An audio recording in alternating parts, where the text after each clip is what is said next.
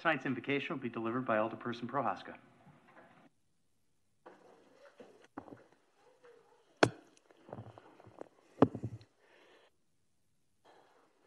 God of peace, we invite you to preside over this meeting. Even if we have different opinions, give us unity of spirit.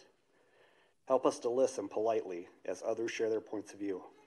Help us to work as a unified team in combining ideas for a great outcome. Help us to work as a whole rather than as individuals trying to promote their own agendas. May we have a spirit of camaraderie in this room and work together on our shared mission. Amen.